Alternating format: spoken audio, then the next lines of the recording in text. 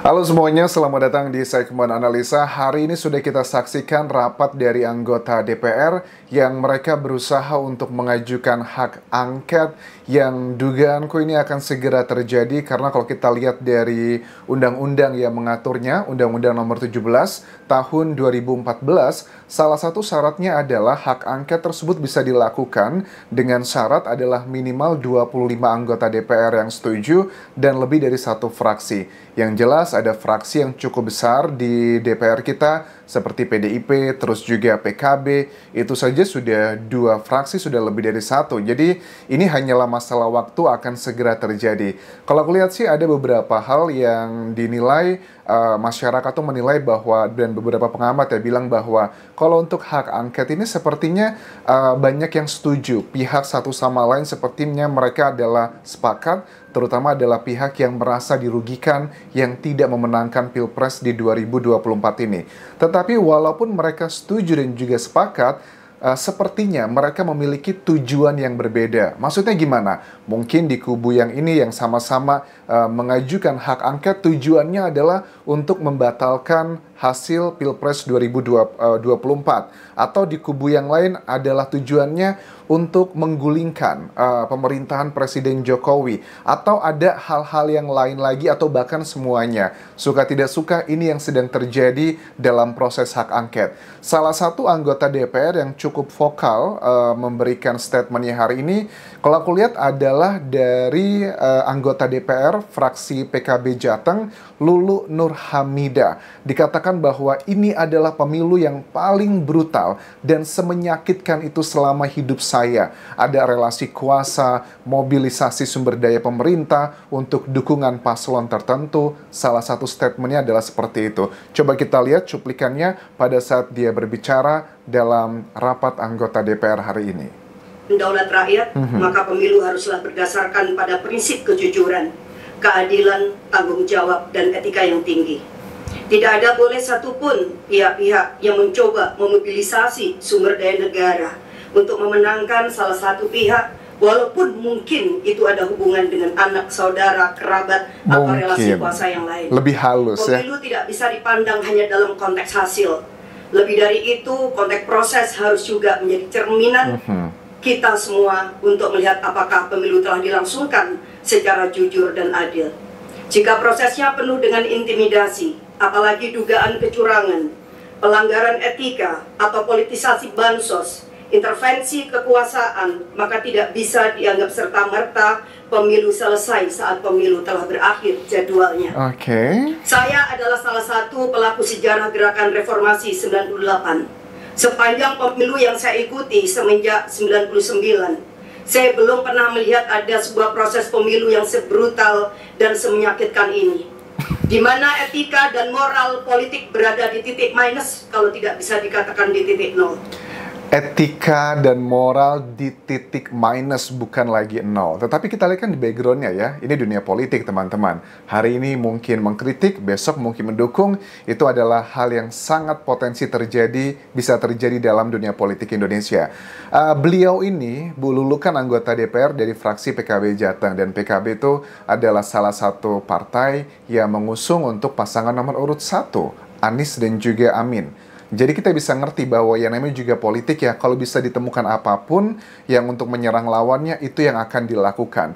Ditambahkan lagi selain ada beberapa hal tersebut, politis politisasi bansos dan berbagai kecurangan. Uh, itu yang diduga katanya dilakukan oleh ya langsung aja to the point adalah Presiden Jokowi kan silent majority saya kira akan sepakat dengan hak konstitusional DPR yakni adalah hak angket Gimana silent majority ya kita-kita rakyat jelata? Apakah kalian setuju dengan hak angket tersebut? Dan ini yang akan mengakhiri desas-desus yang tak perlu, katanya Bu Lulu. Inilah fungsi kita yang sedang ditunggu rakyat Indonesia. Oke, okay, untuk bagian ini sebenarnya hmm, ya memang ini adalah hak konstitusinya dari anggota DPR, tetapi jujur ya secara pribadi dengan melihat bahwa anggota DPR itu adalah perwakilan dari partai politik, aku tidak yakin ya mereka ini beneran menyuarakan untuk mencari kebenaran. Tetapi mungkin aja mereka hanya menyuarakan sesuai dengan kepentingan dan tujuan target dari partai politiknya masing-masing. You know what I mean? Di Indonesia itu ada sebagian mengatakan bahwa kalau kamu sudah menjadi kader partai politik, apa pun jabatan kamu, DPR ke, atau sebagai ketua komisaris di BUMN ke, atau bahkan sampai presiden ke, ya kamu juga harus menjadi apa ya uh, tangan kanannya atau tangan panjangnya dari partai politik tertentu yang mengusungnya. Itu adalah sebuah konsekuensi logis pada saat kita berada di bawah naungan partai politik tersebut. Dan aku tidak yakin bahwa kalau memang beneran hak angket ini sepertinya akan terjadi, tujuannya adalah untuk mencari kebenaran, I don't think so. Mungkin ada beberapa tujuan. Yang pertama adalah menggulingkan Presiden Jokowi. Bahkan dalam rapat hari ini pun juga di luar gedung DPR, itu juga aksi ada sekitar, aku cek di sosial media, tidak terlalu banyak, mungkin ada sekitar seratusan ya, aksi demonstrasi yang mereka ini meneriakan adalah untuk mendukung hak angket. Ada kata-kata yang aku dengarkan dari salah satu oratornya bilang bahwa ambisi kekuasaan untuk dinasti keluarga Jokowi ini harus segera dihentikan. Nah, aku menangkap dengan statement ini kayaknya sih salah satu tujuan hak angket ini adalah untuk mendiskualifikasi Gibran. Karena kan sudah ada keputusan dari MK bahwa ternyata memang ada pelanggaran yang dilakukan pada saat Gibran itu lolos menjadi calon wakil presiden saat itu. Tetapi memang secara aturan mungkin aja ada etika yang dilanggar. Ini kan masalah etika ya, bukan masalah hukum. Kalau etika itu ya bagian yang serba subjektif. Ya etika tuh secara simpelnya nggak usah ngomongin hukum ya. Misalnya kayak di Indonesia, uh, di Thailand ya. Di Thailand itu kita harus etikanya pada saat kita ketemu sama raja, kita harus sujud, harus mencium gitu kan ya. Harus duduknya tidak boleh lebih tinggi dibandingkan raja ataupun juga berdirinya. Tetapi etika tersebut tidak berlaku di Indonesia. Kita kayak apa aja gitu siapa pun kamu ya kita sejajar. Ini kan hal yang sangat subjektif. Kalau secara pribadi mengenai isu uh, kenapa Gibran tidak boleh mencalonkan diri sebagai calon wakil presiden karena aturan adalah usia minimal 40 tahun, well to be honest sekarang sih kayaknya udah nggak relevan lagi ya. Aku lebih setuju adalah ya bukan tentang usia mungkin ya 30 tahun bahkan di bawah 30 tahun kalau seseorang tersebut punya capabilities ya nggak masalah. Sama lah kayak lowongan kerja di Indonesia sama di luar negeri. Kalau lowongan kerja di Indonesia tuh maksimal usia 25 tahun maksimal usia 27 tahun.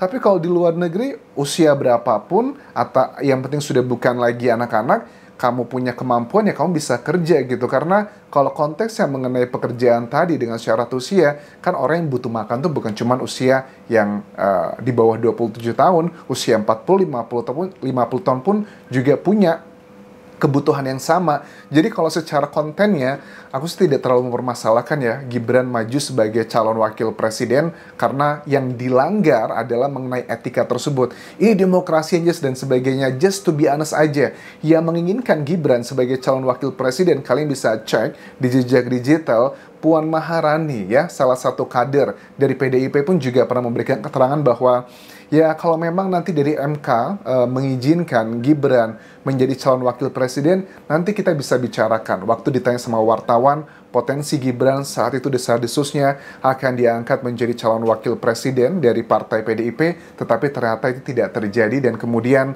uh, Gibran malah menjadi calon wakil presi uh, calon wakil presidennya dari Prabowo. Jadi jujur ya teman-teman ya, kalau orang ngomongin masalah kejujuran, keadilan, are you sure beneran mau mencari keadilan atau hanya menjadikan isu tertentu untuk mencapai tujuan yang mereka inginkan?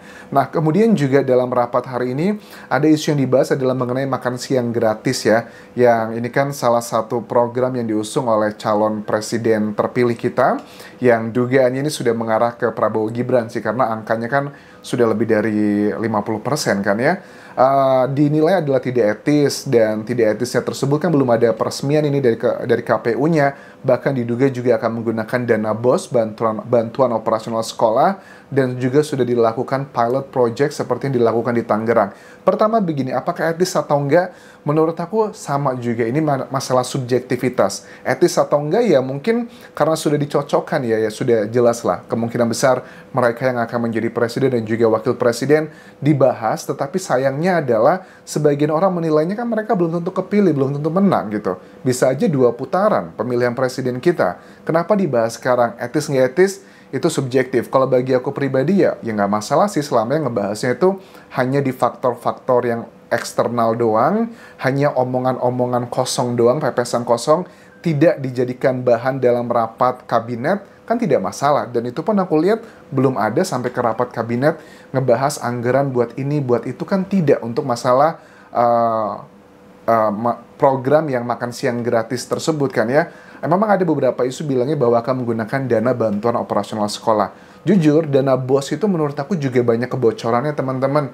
Cek aja lah kasus uh, BOS di Indonesia itu yang dugaannya ada siswa fiktif, ada kegiatan-kegiatan fiktif, ya tidak masalah kalau memang dana BOS tersebut akan jauh lebih bermanfaat untuk siswanya, kan tidak masalah karena dana BOS itu ya setahu aku, itu uangnya satu siswa itu mendapatkan uang dari 800 ribu sampai 1,9 juta rupiah, tergantung di mana dia tinggal dan kebutuhannya apa aja.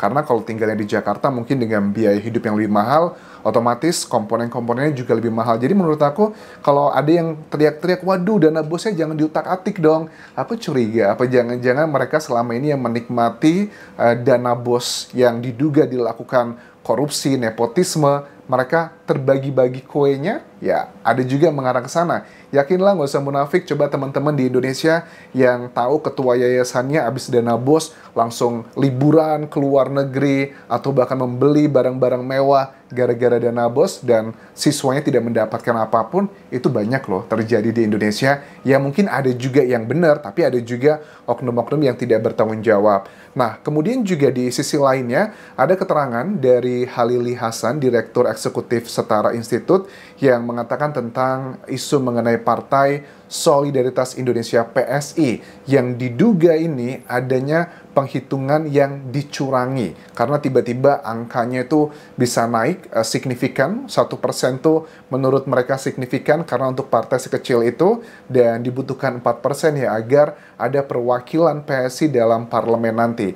Ini menurut Halili Hasan adalah kita sudah bisa menduganya ini adalah tiga agenda utama Presiden Jokowi sebelum Pilpres. Pertama adalah untuk memenangkan paslon nomor urut 2. Yang kedua adalah untuk meloloskan PSI ke parlemen. Dan ketiga adalah untuk menggerus suara PDIP. Kesannya memang ada sebagian yang uh, layak untuk diperdebatkan. Tetapi sekali lagi, uh, kekuasaan seorang Presiden Jokowi ini kan walaupun dia menggunakan berbagai macam strategisnya, pada akhirnya adalah masyarakat yang menilai Maksudnya gimana? Ya kita uh, just being realistic and fair ya, banyak dari semua uh, partai politik menggunakan segala macam daya upayanya untuk membuat masyarakat itu simpati dan juga kagum. Tetapi pada akhirnya apakah masyarakat itu mau memilih atau tidak, itu kan hak kita. Sama lah seperti para caleg yang sekarang juga banyak yang protes, banyak yang marah-marah ke dapilnya, bahkan apa saja yang diberikan mulai dari uang ataupun juga fasilitas di kampung-kampungnya pada saat hasilnya tidak sesuai dengan harapannya itu semuanya diminta balik lagi. Artinya apa? Mau kamu ngasih apa pun ke masyarakat selama masyarakat menilainya adalah tidak suka, tidak mau memilih, ya tidak akan bisa dipilih. Indonesia itu berbeda sama Thailand ya. Indonesia itu nggak bisa orangnya itu dikasih tahu A, B, C, dan D, nurut itu susah teman-teman. Berbeda sama masyarakat kayak di Thailand, kalau atasannya atau rajanya atau perdana menterinya ngomong A, mayoritas tuh akan nurut walaupun di hatinya nggerutu. Tapi kalau di Indonesia, apalagi untuk pilpres seperti ini, mereka mah nggak peduli lo ngasih gue apa, ya terima-terima aja. Tapi di hari pencoblosannya, suka-suka aku lah milih yang mana. So, ini adalah uh, perdebatan mengenai hasil Pilpres 2024 dengan segala macam dramanya. Kita akan terus update bagaimana kelanjutannya. Terima kasih sudah menonton. Sampai jumpa lagi di video berikutnya. Tinggalkan like dan juga komen, subscribe channel YouTube ini, follow Instagram, Facebook, dan juga akun TikTokku di Anjasa Asmara. Sampai jumpa.